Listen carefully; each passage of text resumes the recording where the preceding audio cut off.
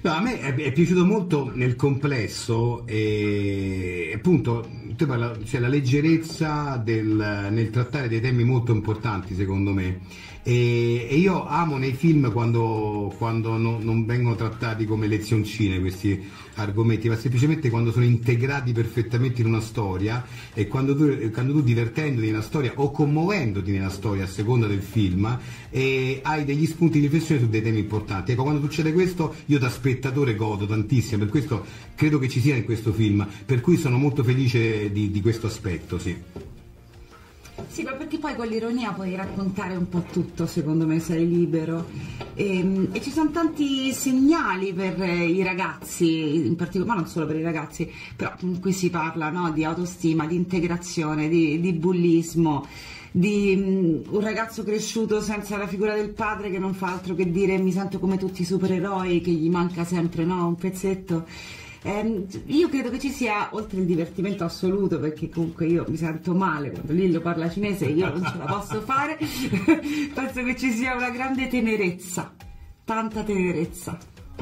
Ma eh, guarda, eh, io ho semplicemente consigliato vivamente ai ragazzi, che poi credo, eh, secondo me, eh, sì, sì eh, li hanno eh, recuperati e visti, alcuni di loro, e ho consigliato certi film degli anni Ottanta, da cui che questo film omaggia in qualche modo, partendo da Karate Kid, ma non solo, cioè eh, proprio quelle atmosfere, quelle storie che sono eh, tipiche di, di, di, quel, di, quel, decennio da, da, cui sono usciti dei, dei film, specialmente nel mondo appunto della commedia, eh, che io amo tanto, cioè film che ancora fanno parte dei, dei, dei, film che amo di più.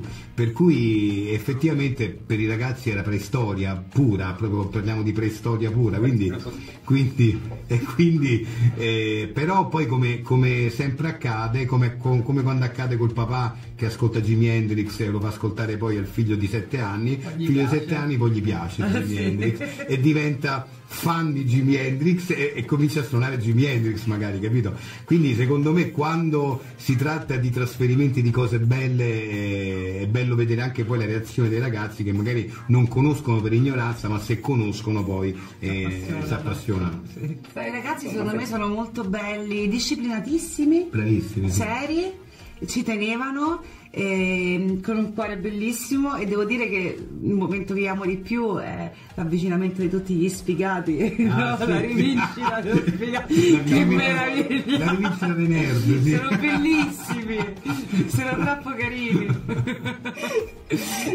tra l'altro poi c'è anche la parte in cui però Lillo arriva col monopattino è, entrata, è entrata trionfale eh? cioè, ai, ai, livelli di Batman siamo a quei livelli là cioè l'entrata alla Batman ho fatto io capito? Col monopattino sì sì.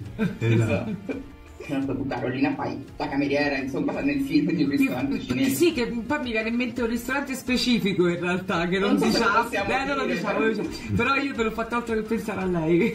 Anch'io, anch'io. avevo anche proposto a registi ma perché non vedete lei? Perché veramente non so eh, è il centro dell'esquilino in qualche modo. Ma eh, sì ma perché poi l'esquilino è un mondo. Eh, è veramente sì la comunità multietnica a Roma non è solo l'esquilino eh, perché anche Perpigna certo adesso così. Sì, anche Doppietà anche così, altre, altre parti. Io, sì. ehm, però sì, è emblematico del melting pot che c'è poi in tutto il mondo, perché se vai a New York è così, se vai a Londra è così, se vai a Parigi è, è uguale, no?